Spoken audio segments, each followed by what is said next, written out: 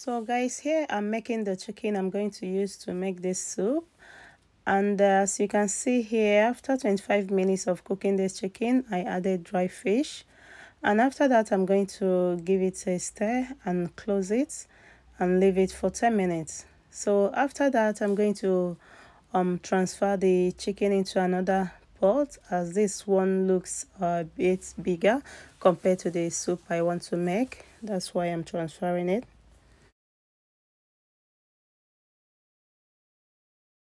so guys after transferring this meat inside this pot that i'm going to use to cook the soup i added crayfish. So after that i stirred.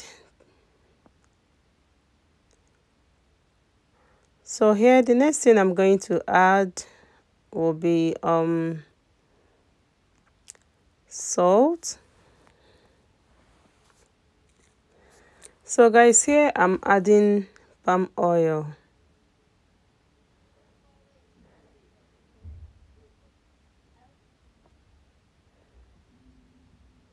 And after that i'm going to cover to cook for some minutes. So guys after that i'm adding okra. So guys the next thing i'm going to add is um onugbu bitter leaf. If you haven't tried this please you guys you need to try it.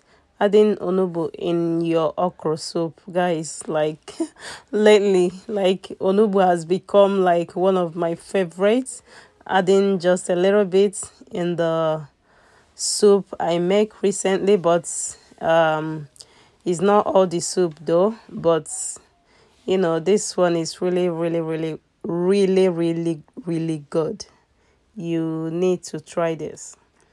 Yeah guys so after that i'm going to give it a very nice stir make sure it's you know well combined. So guys in case you want to see the um how i made this okra to have this consistency i have a video for it. You need to watch it. So guys the next thing i'm going to add will be scotch bonnet and after that I'm going to stir.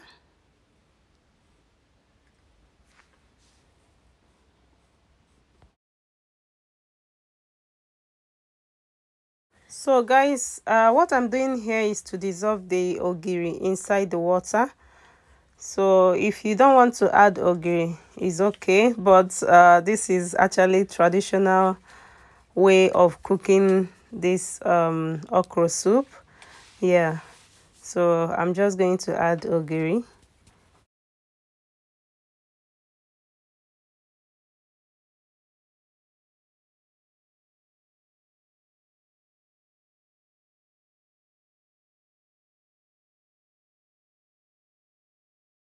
So guys, after that, I'm going to stir.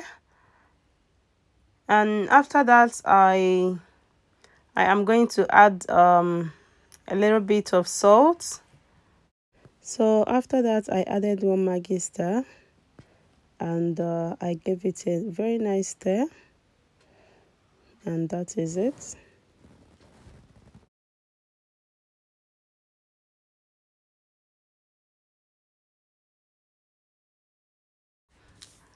And after that i'm going to cover the pot and allow it to cook just three minutes. And uh, our okra soup is just done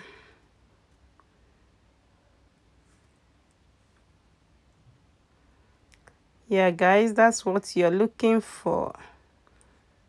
This is our traditional okra soup with onugbu guys this tasted like very very very very delicious. You need to try this if you haven't. This soup tasted like seriously amazing. Very very delicious yeah guys that's the outcome of this soup outcome of this traditional okra soup. If you like it please go ahead and give me a huge thumbs up and subscribe to my channel if you haven't. And i will see you all in my next video. Stay blessed stay beautiful and i love you all. Bye. Bye guys